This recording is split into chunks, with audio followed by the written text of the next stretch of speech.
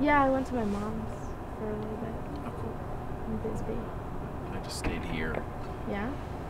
Yeah, I had a couple friends come. Hung out. Did you hear about the college?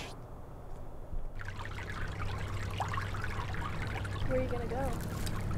Well, I'm thinking if it doesn't work out, you know, I'd probably just head down to Austin, Texas. Two of my best friends moved down there last year, and uh, probably get a place together there.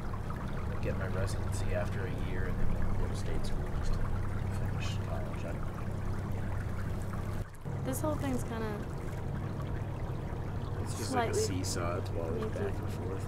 thinking about growing up.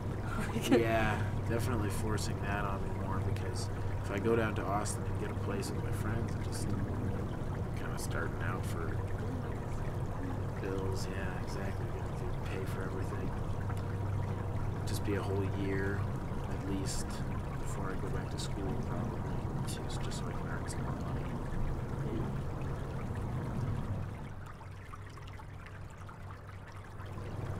So you think you'll just stay here then and see what happens? Yeah. I mean, to go? Yeah.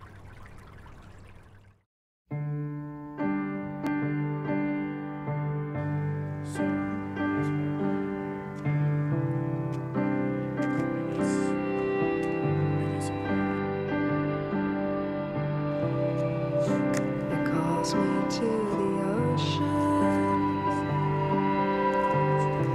takes me wandering through the stream. Restless imagination,